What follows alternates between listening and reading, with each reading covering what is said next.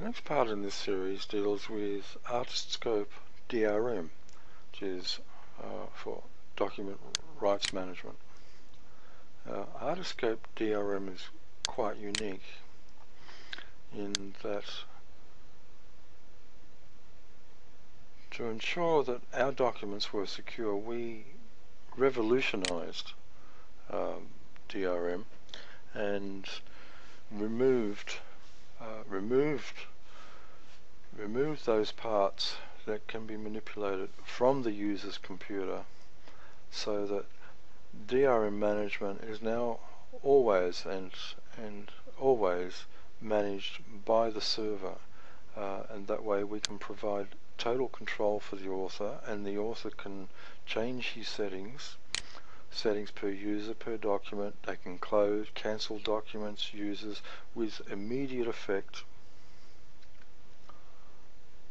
even on documents that have already been downloaded to the user's computer. Now, ArtistScope DRM used to be about a lot of things. It used to be about, uh, it used to include a content management system for web pages and web page creation and so forth. Uh, but we have redefined that to simplify it because, quite frankly, um, it was too much to learn and too much to understand. But ArtistScope DRM now applies to documents and it's for the management of access rights to documents uh, to prevent onward, onward forwarding and unauthorized distribution.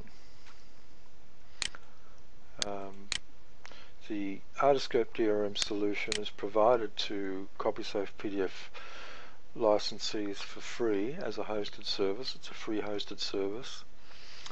Or, or the software can be purchased and installed on your own server. Of course, you will require a Windows server. Um, and we'll have a look at what the portal looks like on the inside. We'll have a look at the uh, control panel. Uh, because what you see there, everything that you see there is what we provide for you and install on your server, uh, which is portal management pages and the DLL, which gets installed server side to uh, process the commands between your por portal web pages so that from your web pages you can control and manage the software on that's running on the server because uh, CopySafe PDF Protector gets installed to the server and is running server side to be shared by you and your other staff or, or, or site members. Um, and now we'll go over and have a look at uh, the internals to see what what you can do from the inside. In this part we are going to have a look at the options available in the DRM portal. Now, I've initially logged in here as the main administrator just to show you the various options that um, uh, that will if you're using the free service of course you won't see all of these options but these options are available uh, if you purchase the software. For example, whatever you see here is what we provide when you purchase the DRM software to install on your own server. Uh, for example, you can, can you have control over the groups. Can create new groups, assign administrators for those groups. Uh, you can send newsletters per group per individual and so on. Users, you can assign users, new users, um, two groups, remove, modify, anything, all sorts of properties about about their rights of access. Uh, there's an option here for quick add. Now here you only you only need to type in their email address and and if you want to send them an, uh, a welcome email, leave that box checked. They will login details will be sent automatically by the server, and um, that's that's a quick add process. Uh, while I while I am in this section, there are a couple of inbuilt security options for all administrators, and one here is this one here. ID can be changed by the user or ID change needs admin approval. So with DRM, for each account, a computer is associated and registered for to that account. And the system system can tell the difference between each computer and only one computer can be associated with an account at any one time. And recently we put this option in by popular demand because we have quite a few uh, quite a few clients who are conducting online courses and they don't want any of their users to share their accounts with other people and so they can use this lock to stop people from changing the computer that's associated to the account. And there is that option. There's also another option that teachers teachers have in that where are we? Um, individual users individual users can there's another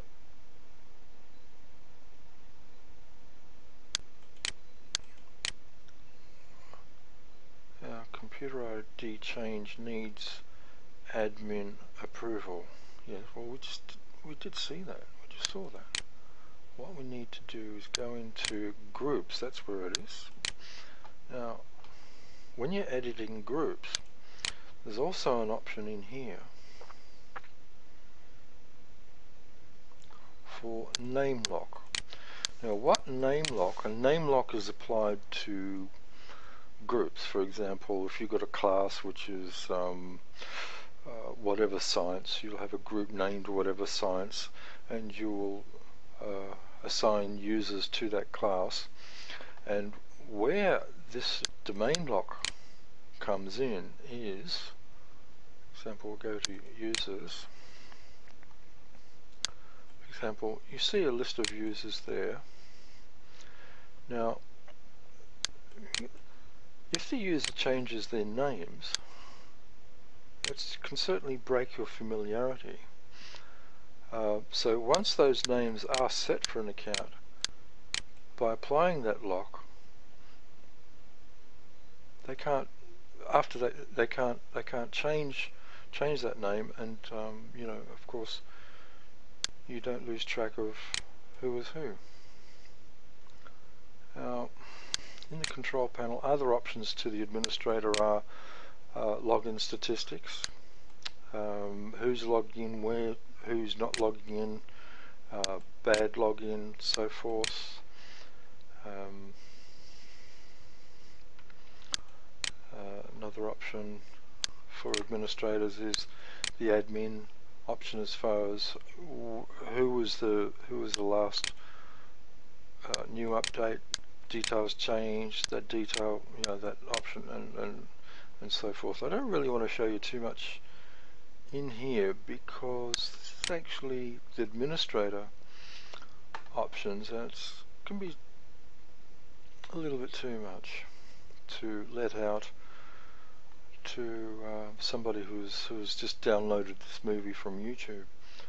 But from documents document management now for example in here if you want to add a new document here you've got the choice of uploading a PDF or the already encrypted file. Now you remember we, we, we encrypted some PDF files using the program that was running on our computer.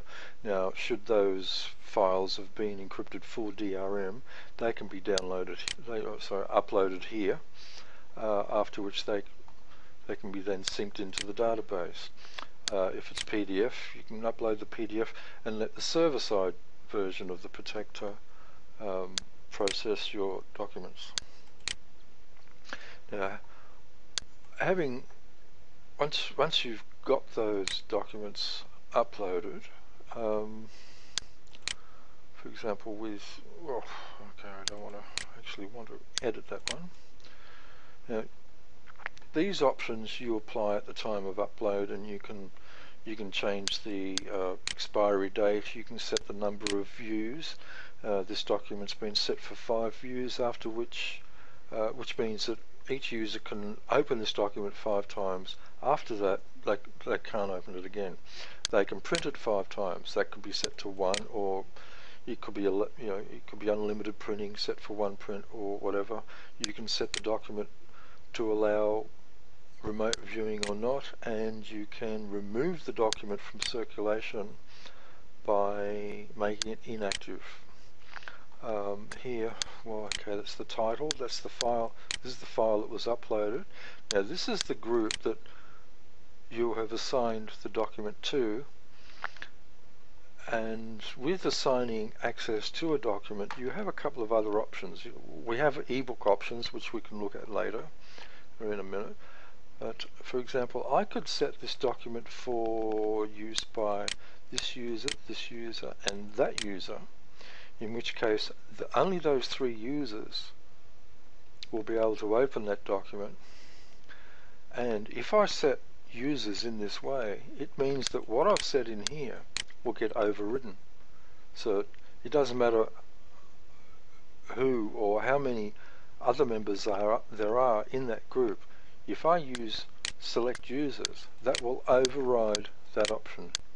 And of course, you know, if I if I choose a book, uh, choose choose a group, a group only, that means that all users belonging to that group can access that document. Okay, now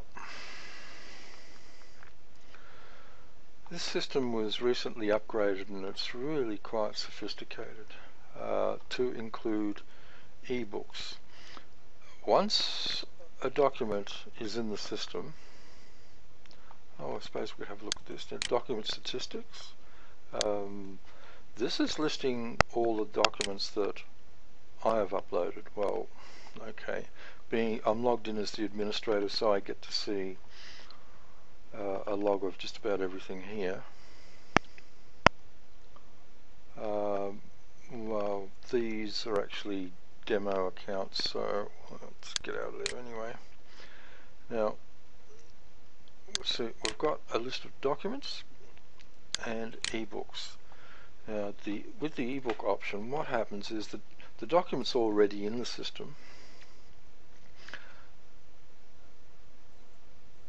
and for it to be added as an ebook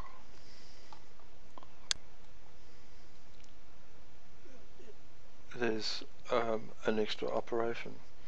Um, for example we need some information here. It's a category um, which language it is summary excerpt um, we can upload an image um, this this this one is for free so okay this one's for free so it's just providing an automatic download link. Now if this ebook was for sale what I would then do is is um, nominate PayPal and then in here I would put the my PayPal account so that when somebody buys the book and downloads it or buys the book online um, it goes through my system and and and um, so on. Might just go to the, all CopySafe users using this DRM portal are entitled to list their books in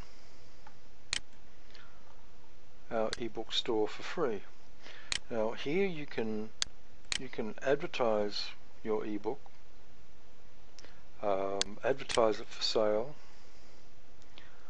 um, conduct online purchases, and there are no commissions payable to ArtistScope. There are no fees charged for hosting on this um, site.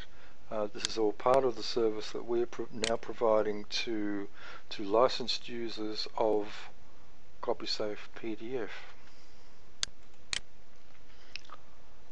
Um, what I might do now is log out here and, and then come in as as a normal user to show you what type of an what type of an account you might have. Uh, oh, well, hang on. Before we do that, uh, the administrator can also block network access. Um, has pretty much got got control over everything. They can they can anything anything that's changed in here has a media effect over um, over the user, the document, the group, um, whether the document's downloaded onto the user's computer, you have total control from your administration panel.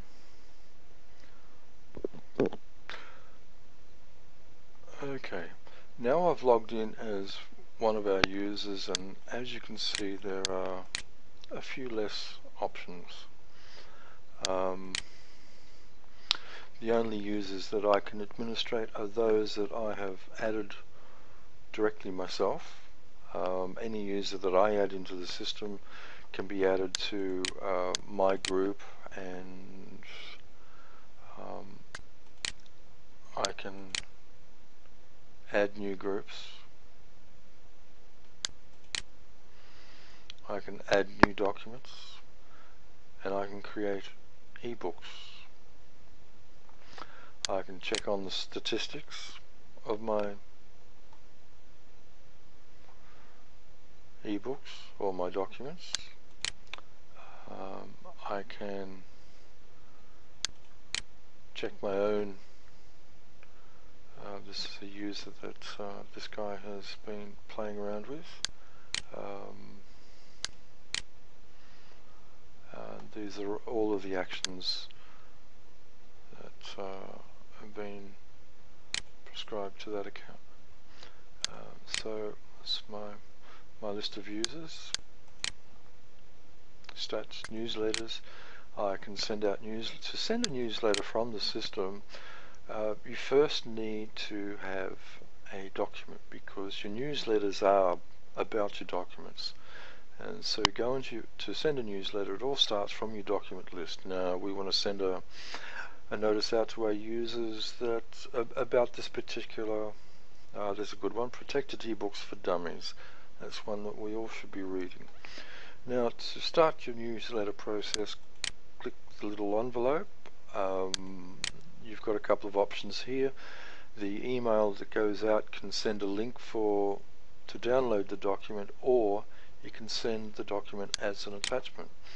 Now you can send a test to yourself you can send a test to your group you might have other groups in here if you've got those or you can send it to only select users um, you know, type your message in here and the rest is pretty much it's, it's fairly straightforward